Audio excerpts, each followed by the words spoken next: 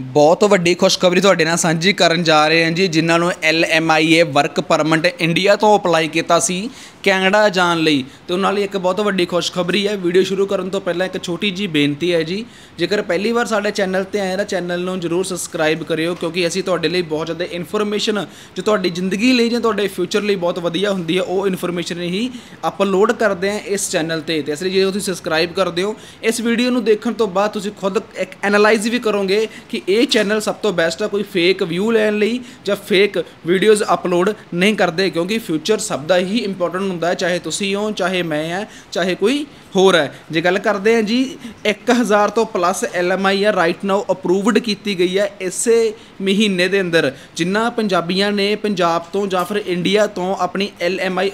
Apply ਕੀਤੀ ਸੀ Canada ਜਾਣ ਲਈ, ਜਿਹਨੂੰ ਆਪਾਂ ਕਹਿ ਦਿੰਦੇ ਆ ਵਰਕ ਪਰਮਿਟ ਜੇਕਰ ਪੂਰੇ ਇੰਡੀਆ ਦੀ ਗੱਲ ਕਰੀਏ ਤਾਂ ਬਹੁਤ ਘੱਟ ਲੋਕ ਅਪਲਾਈ ਕਰਦੇ ਆ। ਸਭ ਤੋਂ ਵੱਧ ਜੇਕਰ ਅਪਲਾਈ ਕੀਤੀ ਗਈ ਹੈ ਐਲਐਮਆਈ ਉਹ ਪੰਜਾਬ ਤੋਂ ਹੀ ਕੀਤੀ ਗਈ ਹੈ, ਜਿਹਦੇ ਵਿੱਚ ਬਹੁਤ ਵੱਡੇ ਲੈਵਲ ਤੇ ਏਜੰਟਾਂ ਨੇ ਅਮਾਉਂਟ ਵੀ ਲਈ ਹੈ, ਬਹੁਤ ਚੰਗੇ ਏਜੰਟਾਂ ਨੇ, ਬਹੁਤ ਘੱਟ ਅਮਾਉਂਟ ਵੀ ਲਈ ਆ। ਪਰ ਆਉਣ ਵਾਲੇ ਸਮੇਂ ਦੇ ਵਿੱਚ ਕਿੰਨੀ ਐਪਲੀਕੇਸ਼ਨ ਰਾਈਟ ਨਾਓ ਪੈਂਡਿੰਗ ਪਈ ਆ? ਮਤਲਬ ਕਿ ਜਿਨ੍ਹਾਂ ਨੇ ਐਲਐਮਆਈ ਅਪਲਾਈ ਕੀਤੀ ਹੋਈ ਆ, ਉਹਨਾਂ ਦੀ ਐਪਲੀਕੇਸ਼ਨ ਵੀ ਪੈਂਡਿੰਗ ਪਈ ਆ ਰਾਈਟ ਨਾਓ ਤੇ ਉਹ ਕਿੰਨੀ ਐਪਲੀਕੇਸ਼ਨਾਂ ਤੁਸੀਂ ਸਕਰੀਨ ਦੇ ਉੱਤੇ ਖੁਦ ਐਨਾਲਾਈਜ਼ ਕਰਕੇ ਦੇਖ ਸਕਦੇ ਹੋ? 1079 ਮਤਲਬ 1079 LMIA ਜੋ ਅਪਰੂਵਡ ਕੀਤੀ ਗਈ ਹੈ ਕੈਨੇਡਾ ਦੁਆਰਾ, ਪਰ 10000 ਤੋਂ ਪਲੱਸ ਸਟਿਲ ਪੈਂਡਿੰਗ ਹੈ, ਤੇ ਉਹਨਾਂ ਨੇ ਇਹ ਵੀ ਕਿਹਾ ਕਿ ਅਸੀਂ ਇਹ ਵੀ ਅਪਰੂਵਡ ਕਰਾਂਗੇ। ਸੋ ਤੁਸੀਂ ਵੀਡੀਓ ਨੂੰ ਲਾਈਕ ਕਰਕੇ ਕਮੈਂਟ ਥੱਲੇ ਵਾਹਿਗੁਰੂ ਲਿਖ ਸਕਦੇ ਹੋ, ਕਿਉਂਕਿ ਜਿਨ੍ਹਾਂ ਲੋਕਾਂ ਨੂੰ ਇਹ ਚੀਜ਼ ਅਪਰੂਵਡ ਹੋ ਚੁੱਕੀ ਹੈ, ਜਿਨ੍ਹਾਂ ਨੂੰ ਐਲਐਮਆਈ ਵਰਕ ਪਰਮਿਟ ਮਿਲ ਚੁੱਕਿਆ ਹੈ, ਤੇ ਤੁਹਾਡੀ ਦੁਆ ਨਾਲ, ਤੁਹਾਡੀ ਕਿਰਪਾ ਨਾਲ ਕਿਸੇ ਹੋਰ ਨੂੰ ਵੀ ਮਿਲ ਸਕਦੀ ਹੈ, ਕਿਉਂਕਿ ਹਰ ਇੱਕ ਇਨਸਾਨ ਨੇ ਫਿਊਚਰ ਤੇ ਲਾਈਫ ਨੂੰ ਆਪਣੀ ਇੰਪੋਰਟੈਂਸ ਹਮੇਸ਼ਾ ਦੇਣੀ ਹੁੰਦੀ ਹੈ, ਕਿਉਂਕਿ ਉਹਦੇ ਲਈ ਫਿਊਚਰ